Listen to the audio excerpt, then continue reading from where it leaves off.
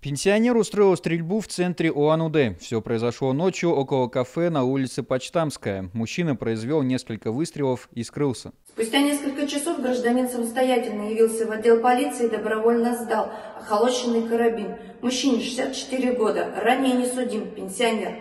В настоящее время сотрудниками уголовного розыска выясняется причин и обстоятельства противоправного поведения гражданина.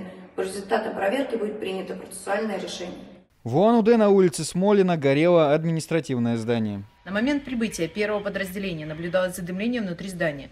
В результате пожара повреждены стены, перекрытия и кровля на общей площади 50 квадратных метров. Пострадавших нет. Предварительная причина пожара – аварийный режим работы электрооборудования. Из-за взрывов газовых баллонов сгорел дом в Новом НХУКе. По словам очевидцев, сначала в жилом помещении начался пожар, а затем сдетонировали газовые баллоны. Пламя быстро распространилось на баню и деревья, растущие на участке. Соседние дома, к счастью, не пострадали. В результате пожара дом полностью уничтожен огнем. Жуткое ДТП возле двух китов, три машины в смятку. По словам очевидцев, столкновение произошло из-за нетрезвого водителя. Было ограничено движение. Андрей Слепнев, Новости дня.